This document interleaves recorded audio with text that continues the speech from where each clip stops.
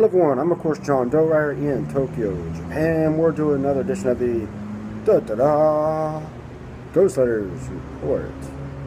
Now recently our uh, village idiot, who's known as the Prime Minister in Japan, Shinzo Abe,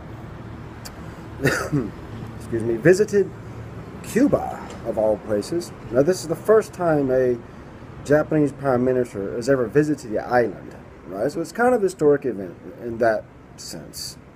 Well, what was he doing there? Well, he came there basically and he said, um, hey guys, I need your help to uh, tame North Korea, also known as DPRK.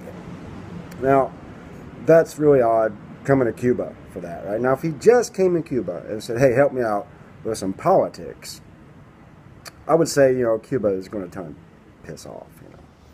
But he's offering to sweeten the deal. Here's what he was offering, right? Boost uh, tourism, probably through Japanese tourist agencies, right? Uh, increase trade, which Japan had been trading with Cuba for a very long time, so there will be more of that. And investment in the country. Now, the investment part is where it gets interesting, right? Now, Abe has agreed to decrease Cuba's debt to Japan dramatically and take that decrease of debt and use it to set up an investment fund for Japanese companies in Cuba. Yeah.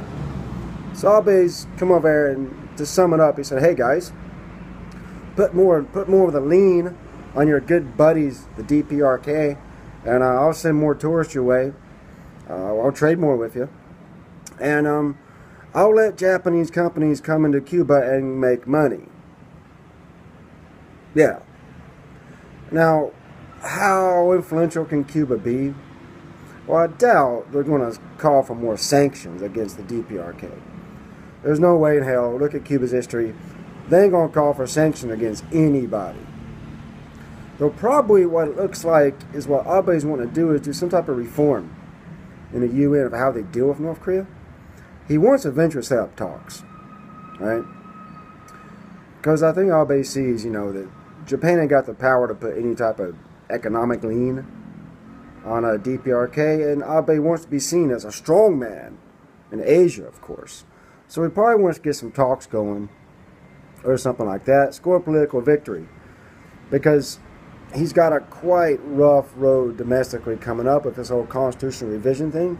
Despite the fact he's got a supermajority in, in, in the parliament, still going to be a rough road because the people here are not down with the way he wants to change things.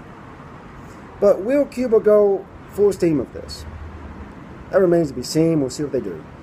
I want to hear what you think about this latest development in the comment section below. If you have never subscribed, please do. I'm back into doing more videos again, so expect regular stuff more, okay? So until next time, it's me, Jon Doe in Tokyo. Checking out.